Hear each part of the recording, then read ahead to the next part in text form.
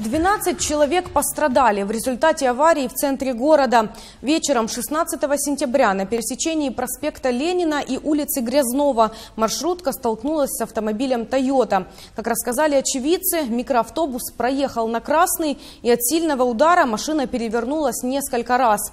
Позже в ГАИ отметили, водителя пассажирского транспорта прежде не раз привлекали к админответственности за нарушение ПДД. Маршрутка номер 84 ехала в сторону Бородинского микрорайона. По словам очевидцев, на перекрестке Ленина и Грязнова микроавтобус врезался в «Тойоту» и перевернулся. За рулем легкового автомобиля была девушка. На место происшествия прибыли машины скорой, спасатели и сотрудники ГАИ. По словам автоинспекторов, маршрутчик ехал на красный. Проезжая перекресток проспект Ленина Грязнова, двигаясь на запрещающий сигнал светофора, э, совершил столкновение с автомобилем «Тойота». Сейчас по данному факту ведется следствие. Скорая увезла в пятую горбольницу 12 пассажиров маршрутки. Троих из них пришлось госпитализировать, говорят медики. Нейрохирургия женщина с черепно-мозговой травмой не тяжелой. И в отделении травматологии там пострадавшие с переломами, с травмами мягких тканей, с ранами.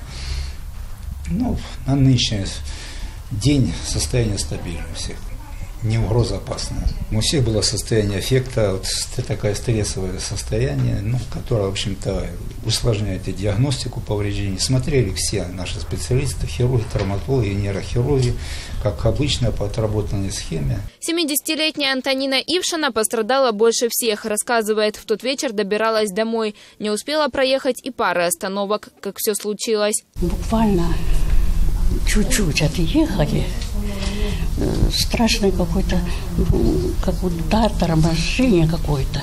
И, ну, как бы я даже впереди сиденье. Вот это то, что я запомнила.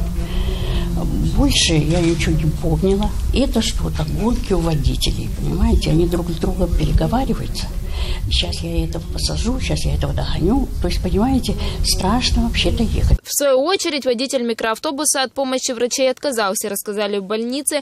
По данным Горуправления транспорта, представитель компании перевозчика оказывает пострадавшим необходимую помощь. В ГАИ отмечают, точку в инциденте предстоит поставить следствию. Добавляют, в прошлом году водитель этой маршрутки пять раз привлекался к админответственности за нарушение правил дорожного движения, в том числе за превышение скорости и проезд на запрещающий сигнал светофора.